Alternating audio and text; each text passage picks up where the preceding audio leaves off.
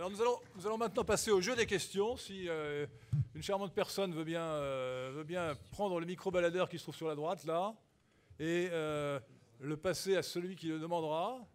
Et, donc, alors... Un charmant monsieur, ben, c'était quand même une charmante personne. Non, voilà, c'est Al- Alban, Alban va passer le micro. Alors Alban, je vous rappelle la règle.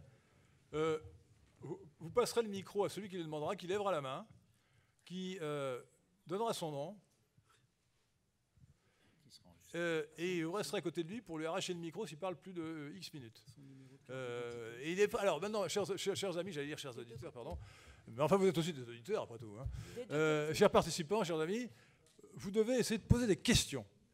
Alors vous pouvez les, vous les- vous les poser non seulement à, à moi-même qui viens de parler, mais bien sûr à Michel Geoffroy, mais aussi même à ceux qui vont intervenir plus tard, peu importe. Euh, posez des questions et plutôt que de faire un exposé unilatéral. Le métro. Allô Allô, Ça allô, marche oui.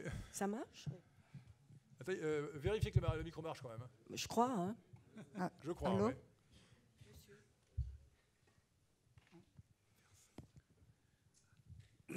Ça marche Monsieur de Lesquin. Oui, euh, votre nom, monsieur, je vous rappelle. Bernard Baptiste. Euh,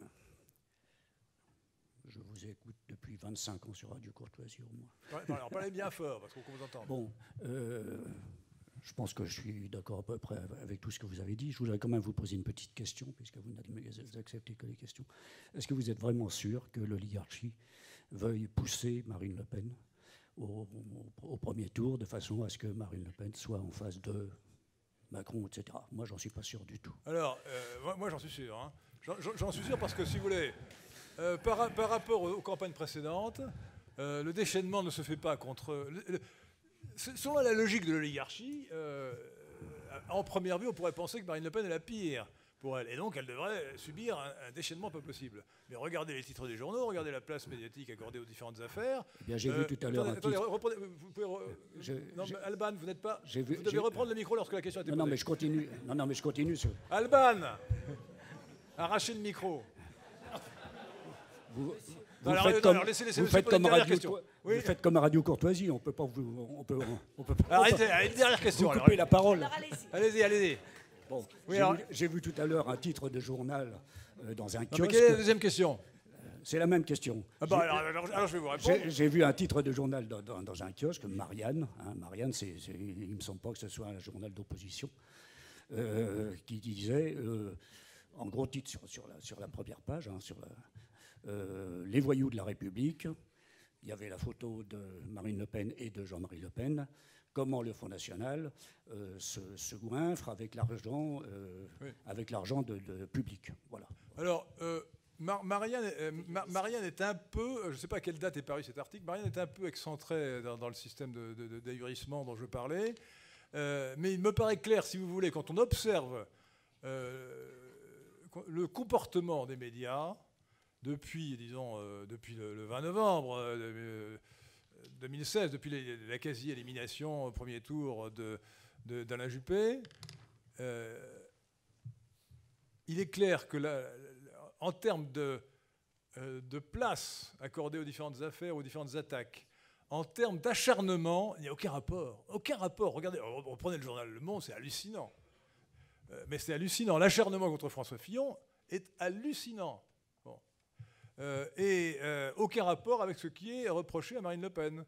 Euh, donc on a clairement un traitement différent, dont je me félicite pour Marine Le Pen. Mais vu, s'il n'y avait pas cette volonté de faire accéder Marine Le Pen au second tour, je ne vois pas comment il pourrait y avoir ce comportement très différencié entre favorable à Marine Le Pen, enfin défavorable à Marine Le Pen en soi, mais relativement plus moins défavorable de loin que celui qui est accordé à François Fillon. Ce qui est, a priori, est, extrêmement surprenant si on n'a pas euh, cette analyse euh, que j'ai proposée euh, d'un plan qui est mis en œuvre. Alors, en particulier, on vous explique, on fait croire aux gens que Marine Le Pen a une chance de, gagner. Elle n'a aucune chance de gagner. Vous pouvez prendre vos désirs pour des réalités. C'est impossible. Euh, et n'invoquez pas Trump ou le Brexit, ça n'a aucun rapport. Trump était le, candidat du Parti républicain, euh, et euh, il avait d'ailleurs il avait pour lui Fox News, il avait pour lui euh, Breitbart, News. Non, non, donc ça n'a aucun rapport. Et puis non, non. si Marine Le Pen est au second tour, comme il semble que ce soit probable, elle sera battue par le candidat qui sera au second tour contre elle, que ce soit Macron, Hamon ou Fillon. Dans tous les cas, elle n'a aucune chance de gagner. Vous pouvez le souhaiter, mais ça, n'est pas possible, ça ne peut pas avoir lieu, peut-être en 2022, j'en sais rien, mais je dis en 2017, c'est impossible. Bon, en tout cas, cette opinion, elle est certainement partagée euh, par les gens qui euh, planifient l'opération euh, Macron et qui pensent que Macron le gagnera s'il est contre Marine Le Pen. Deuxième question. Deuxième question. Oui, Dominique Jalin, je pose la question suivante. Il y a beaucoup d'informations fausses qui circulent en ce moment. J'en ai lu une très récemment qui m'a inquiété un petit peu, laissant penser que Yves de Cardrel serait un ami de Macron. Est-ce exact? Écoutez, je, n'ai aucune information personnelle. À mon avis, Yves de Cardrel et Valeurs Actuelles font un très bon travail dans tous les domaines. Et euh, peut-être qu'il peut connaît Macron, je n'en sais strictement rien. Posez-lui la question. Moi, moi, moi d'ailleurs, bon, peut-être que Macron est un homme excellent dans, la vie privée. Hein, euh. Il faut lire l'éditorial de, de Cardrel aujourd'hui dans, Valeurs Actuelles. Il n'y a aucune ambiguïté sur son soutien à Fillon. Hein. je, crois que ce sont des rumeurs qui, de toute façon, en supposant qu'il y ait réellement des relations amicales entre les deux, n'en ont aucune conséquence politique hein, ou éditoriale. Bon, troisième question. Oui, bonsoir, Olivier Piacentini. Donc, euh, je salue Olivier Piacentini, qui est l'auteur d'ouvrages remarquables, dont le dernier s'appelle Le dossier noir du socialisme, aux éditions. Édition de Paris, Max Chalel. Alors, je vous annonce. Édition de Paris, Max Chalel. Oui, que le livre, euh, je devais faire une signature en non, Corse. Bien le micro. Euh, je devais faire une signature samedi en Corse. Et le livre n'a pas pu être expédié dans les librairies. Et le colis s'est perdu. Et euh, comme par hasard également, quand le libraire recommande le livre, eh bien, sur les écrans du logiciel de commande, il y a marqué arrêt de la commercialisation alors que le livre est sorti il y a 15 jours. Alors bon, évidemment, je ne mets pas mon il cas est épuisé, alors Il semblerait, d'après le libraire... votre, question Alors, ma question est très simple. Alors ce matin, euh, Marine Le Pen a été interviewée par euh, Jean-Jacques Bourdin dans le cadre de sa matinale. Et Jean-Jacques Bourdin... sur, quelle, chaîne? BFM, bien sûr. BFM. Et Jean-Jacques Bourdin euh, l'a invité à un débat avec Emmanuel Macron. Qu'a répondu fort justement Madame Le Pen Elle a dit, elle a décliné l'invitation, elle a dit Je pourrais le faire, mais certainement pas sur votre antenne. Et elle a développé effectivement ce que vous venez de dire, euh, Henri, c'est-à-dire le rachat numéricable avec évidemment un renvoi d'ascenseur médiatique euh, que BFM TV apporte à bout de bras à Emmanuel Macron. Alors, moi, la question que je me pose. Et, que vous nous posez Que je vous pose à vous, hein, qui êtes très bien informé. Comment se fait-il qu'au niveau de la campagne de François Fillon, on n'entende pas des voix, euh, je dirais, aussi fermes et aussi catégoriques pour dénoncer le complot, pour expliquer ce qu'il se passe, pour décrypter l'origine de, de, cette manœuvre, puisqu'on a bien vu qu'Emmanuel Macron a rendu d'énormes services au milieu financier, à la fameuse oligarchie et sa présence en France. Mais pourquoi n'est-on pas capable de mettre ça sur la table et d'attaquer là où ça fait mal? J'ai compris. Alors, je, réponds. Moi, enfin, je réponds sous, sous, le contrôle de ceux qui sont à côté de moi, et notamment euh, de, de Christian Vanès, qui aura peut-être une opinion différente. Pour moi, euh, que, la, réponse est claire, c'est que euh, François Fillon a eu du mal à se reconvertir et à comprendre dans quelle situation il était. Il a continué à faire de la politique comme avant. Vous voyez? Il a découvert une situation nouvelle à laquelle il ne s'attendait pas. Et il a d'abord fait des erreurs. Euh, il n'aurait jamais dû. D'abord, il aurait dû faire comme Marine Le Pen, refuser de se rendre à la convocation des, juges d'instruction ou, ou, du procureur en invoquant son immunité parlementaire. Il aurait dit, il aurait dit écoutez, nous sommes en campagne électorale, je ne m'y rendrai pas. Il a fait l'inverse. Et deuxièmement, il a fait deux erreurs majeures. Premièrement, il a dit euh, qu'il regrettait qu'il avait fait des erreurs, etc. Il a encore répété dans sa conclusion au, débat de lundi. Euh, mais en politique, on ne dit pas qu'on a fait des erreurs. Enfin, qu'est-ce que ça veut dire? Trump n'a jamais dit qu'il avait fait une erreur. Sauf une fois, quand on a ressorti une vidéo où il tenait des propos obscènes à propos des femmes, euh, que je n'ose même pas répéter, euh, parce que je, rougirais moi-même, alors que, que, feriez-vous, mesdames, mesdemoiselles, si je les répétais et, là, il, a fait, dit effectivement, je, demande pardon aux femmes de m'être exprimé, mais c'était des propos de corps de garde ou de, de garçon de bain. Bon, mais mais là, ce n'était pas politique.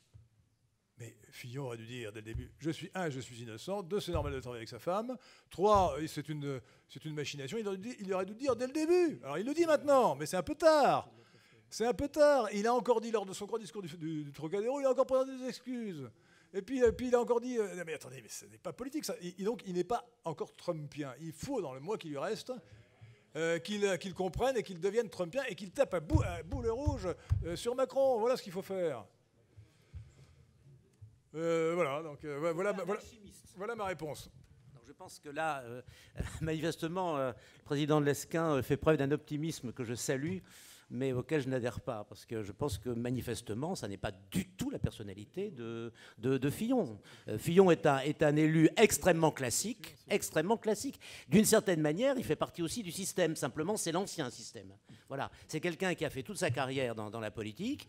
Euh, personnellement, moi, j'admire ça. Il a fait euh, la course aux honneurs des Romains, quoi. Voilà.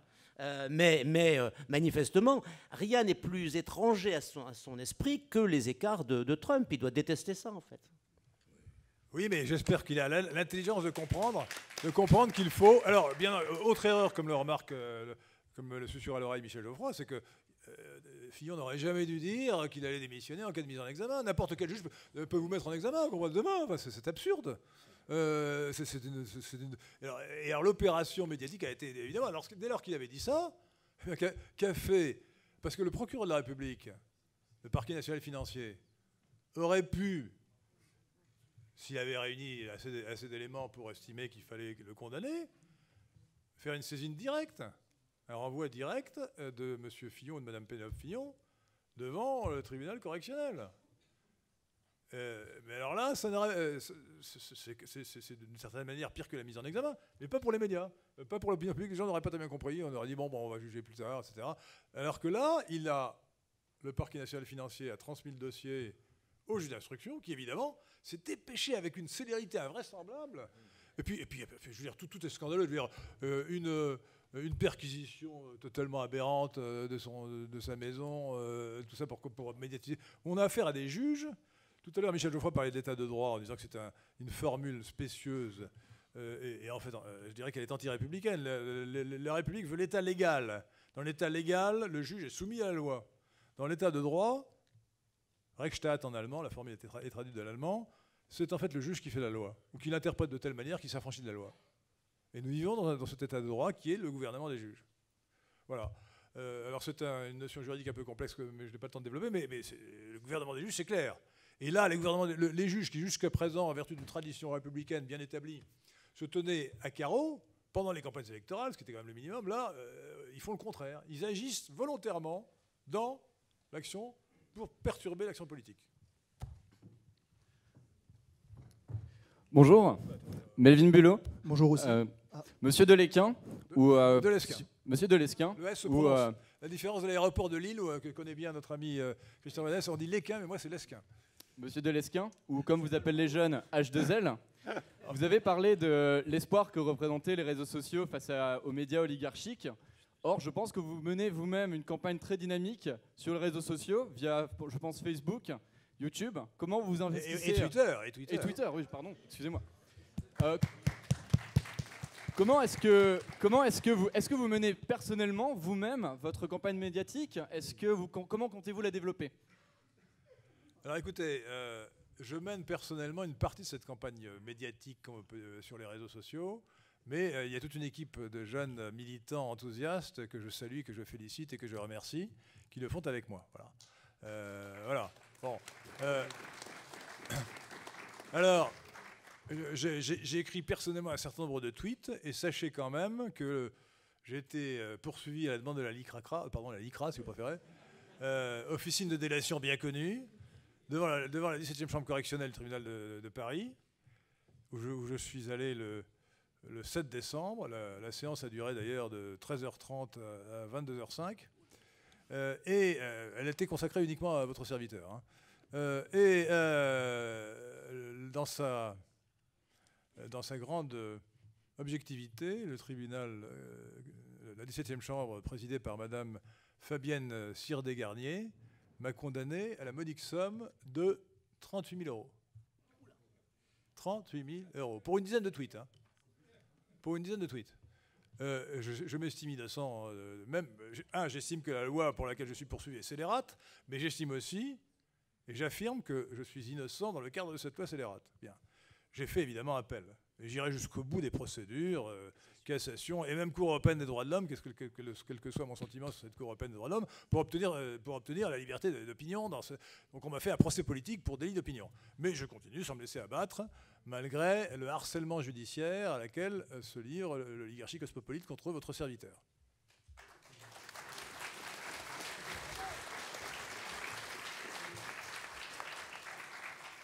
Et, donc j'ai besoin de tous les concours, c'est-à-dire que euh, abonnez-vous à mon compte Twitter, euh, à ma page Facebook, euh, et relayez les messages le plus possible pour que nos idées circulent. D'ailleurs, je vous signale que Yvan Blot a un compte Twitter, abonnez-vous à son compte Twitter. Christian Vanessa a un compte Twitter, vous pouvez vous abonner. Je il est aussi sur Facebook. Je, je, suis déclaré ami de vous sur Facebook. Alors j'ai un, blog avec effectivement un, compte Twitter et un compte euh, Facebook, plusieurs pages Facebook en, fait. Et euh, j'ai écrit, euh, écrit sur mon blog une lettre ouverte à, François Fillon pour lui demander de continuer lorsqu'effectivement il a, il a reçu la première vague d'attaques. J'ai été surpris euh, de la réponse. J'ai eu 17 000 euh, approbations, 17 000 lecteurs de mon blog sur deux jours, vous voyez, ce qui est largement supérieur à ce que j'ai d'habitude. Alors, je, ne voudrais pas crâner, cher Christian Vanès, mais j'ai aussi un site personnel dont le nom va changer parce qu'il s'appelait lesquin2017.com. Comme je ne suis plus candidat pour 2017, je le serai peut-être en 2022, mais j'aurai 73 ans.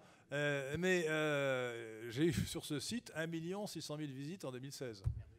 Hein, et, vous pouvez continuer à le visiter. Pas, mal quand même. Hein. Bon, évidemment, une visite, ça peut être 3 secondes, hein, mais euh, j'espère que c'est un peu plus.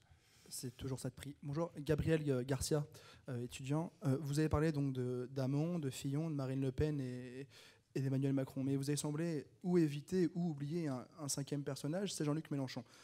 il ne reçoit pas un accueil favorable des médias et pourtant, il semble être opposé à une certaine oligarchie et il semble avoir une position beaucoup plus cohérente que François Fillon, par exemple, sur la Russie.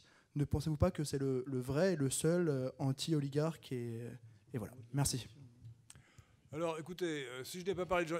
il y a 11 candidats. Hein. Je n'ai pas parlé non plus de Nathalie Arthaud, de Philippe Poutou, euh, de Jean-Luc Mélenchon en effet, de Jean Lassalle, pourtant homme estimable, euh, de, euh, de François Asselineau, euh, que je ne prends pas au sérieux pour ma part.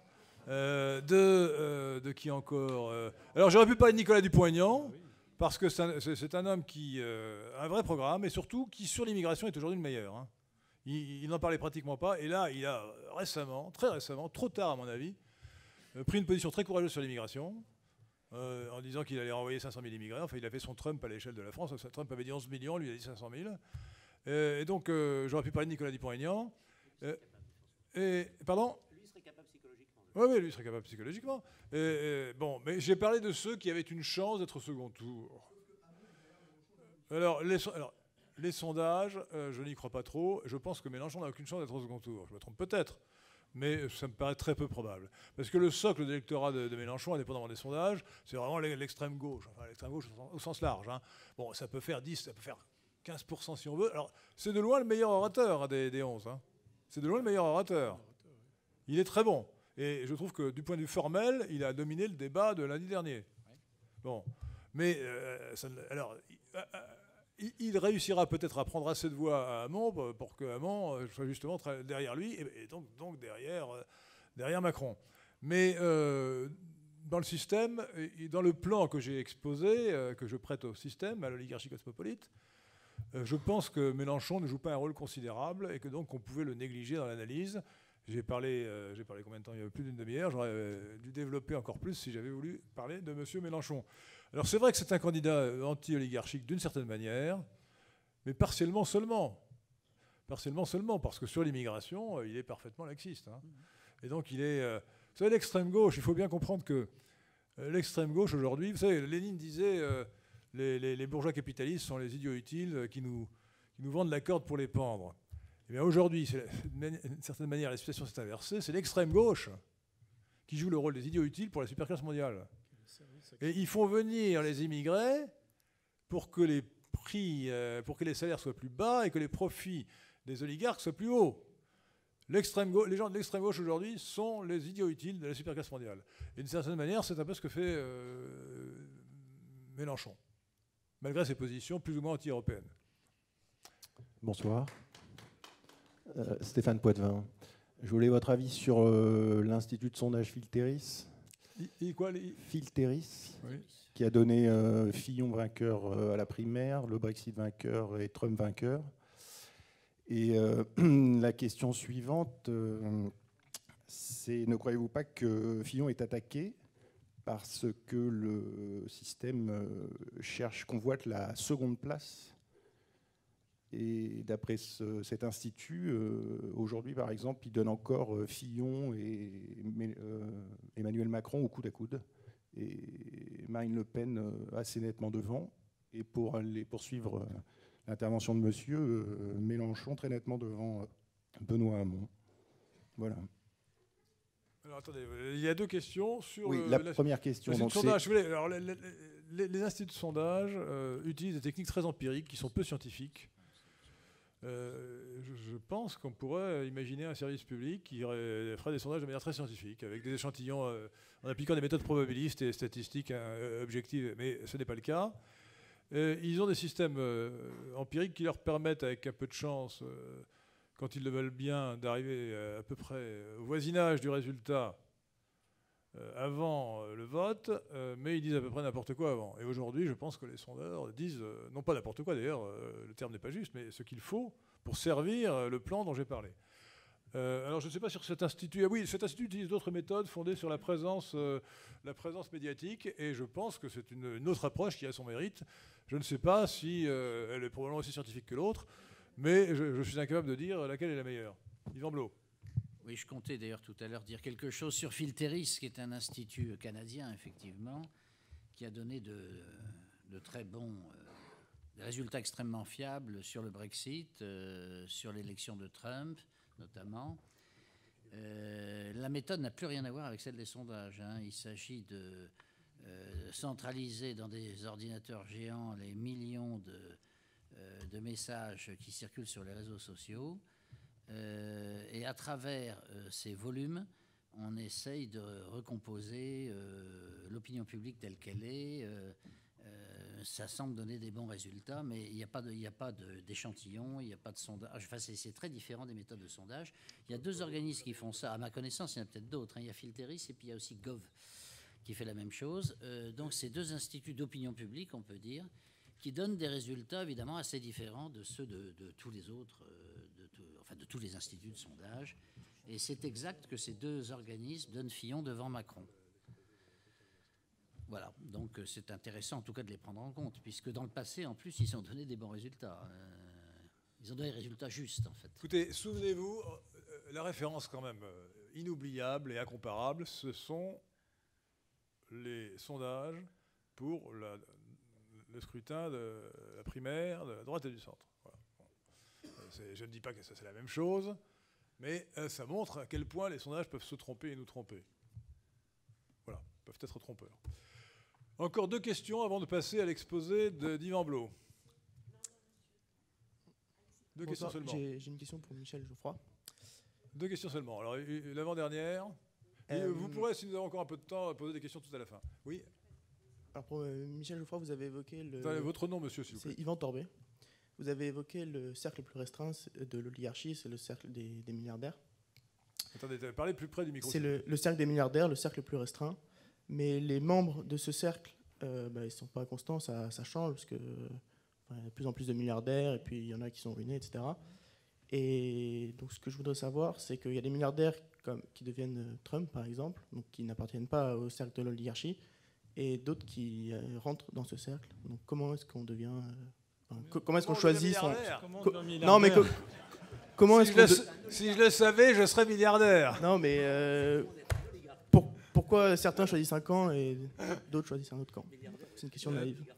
Euh, David Rothkopf, là, qui, a, fait ce livre qui s'appelle La caste, a une belle formule. Il dit Le fait que les têtes changent au sommet ne signifie pas qu'il n'y a pas de sommet.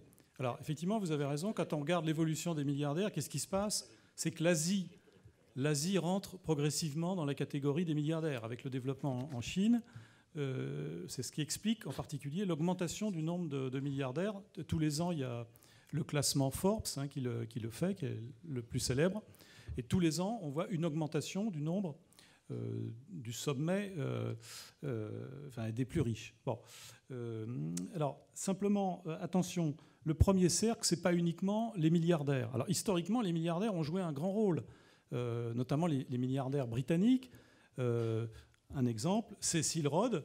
Cécile Rhodes a financé un groupe important qui est le groupe de Laure Milner, qui a joué un rôle très important au XIXe siècle et au début du XXe, puisque c'était un groupe euh, euh, en fait mondialiste qui euh, préconisait le Commonwealth des nations, c'est-à-dire qui partait du principe que le Commonwealth britannique allait servir de base à un Commonwealth plus global. Cette idée va transparaître d'ailleurs dans la SDN, puis après dans les organisations internationales. Bon. Euh, donc, très longtemps, les milliardaires ont joué un rôle important euh, pour euh, financer, je l'ai dit tout à l'heure, les fondations, financer les universités, et notamment dans le monde anglo-saxon, les universités ont joué un grand rôle comme recrutement de futurs cadres. C'est un moyen de, recruter les gens, hein, de, sélectionner les gens. C'est un peu comme la French American Foundation, d'ailleurs, même, logique. Hein.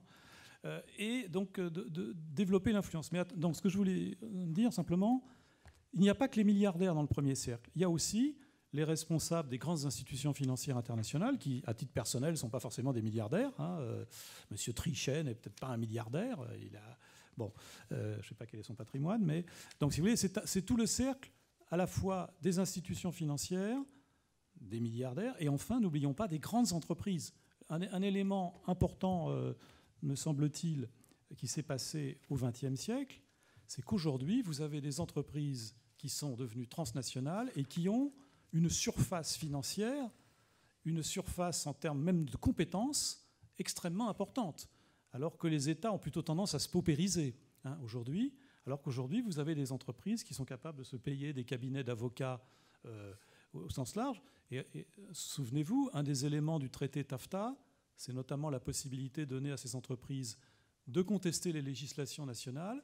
C'est déjà en cours dans un certain nombre de pays. Ceci, c'est grâce aux moyens qu'ils ont. Ils ont des moyens juridiques aujourd'hui très supérieurs à ceux des États. Hein.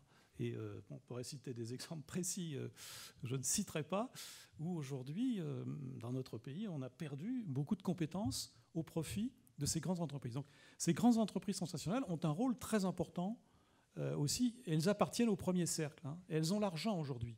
Il y a toujours des milliardaires, mais aujourd'hui, qui est-ce qui a l'argent? C'est le, les grandes entreprises transnationales qui ont un PIB considérable. Hein, considérable. Une dernière question, j'ai dit, j'ai promis. Donc, et, après cela, nous, nous écouterons Yvan Blot. Oui, euh, pour ceux qui auraient votre nom, s'il vous plaît. Chez nous. Pour ceux qui ont votre prénom. Jean-Luc. pour ceux qui ont besoin d'arguments supplémentaires, pour être convaincu du rôle euh, d'organisation euh, ou d'organisme ou d'entreprise, euh, comme par exemple BFM TV. Est-ce que vous pourriez rappeler le parcours de M. Bernard Mourad, qui est passé... Bernard qui? Mourad, Qui est passé de la banque Morgan Stanley pour l'offre publique d'échange qui a permis à M. Drahi, d'acquérir SFR, qui était six fois plus gros que, que Numéricable et également le parcours de M. Drahi, qui est un milliardaire, mais un milliardaire. Un milliardaire qui drahit la France. Oui, oui, mais qui a drahi. Non, non, mais il a drahi la France puisqu'il a renoncé. Pardonnez-moi, je suis un peu enrhumé. Non, non, mais il a renoncé. C'est un, polytechnicien euh, ah, d'origine d'origine euh, juive marocaine qui a renoncé à son, à son euh, identité, à sa nationalité française, qui est, qui est israélien et qui est euh, absolument cosmopolite, qui est un milliardaire en dette. Il faut savoir. Non, mais bon, on, non, mais la question. Que vous, la question, c'est euh, parce qu'il n'y a pas que, que des. Euh, la question. la question, c'est il n'y a pas que des milliardaires en propriété. Il y a des milliardaires en dette, comme M. Drey, qui est passé de, de 2013 à 3 milliards d'euros de dette à 49 000 milliards au point de s'être fait de cette fait rappeler à l'ordre. Une opération commando s'impose par Goldman Sachs. Euh, Jean, Alban, ah, merci messieurs. Alors, euh, je vais laisser sur, sur Monsieur. Alors, je crois qu'il faut simplement répondre sur le rôle de Monsieur Bourrat, que je ne connais pas. Je crois que Christian Vanès connaît mieux les choses que moi. Ah non, à peine. en fait, il y a deux, frères Mourad, si j'ai bien compris, euh, dont l'un a, travaillé avec le laboratoire Servier, ce qui n'est pas non plus extrêmement recommandable. Et tous les deux se sont retrouvés dans l'équipe rapprochée de, de M. Macron. Alors celui qui avait travaillé avec Servier a dû partir très rapidement, mais on en a très peu parlé par rapport à, l'effet que ça aurait eu si ça avait été euh, dans l'équipe de Fillon qu'il avait travaillé.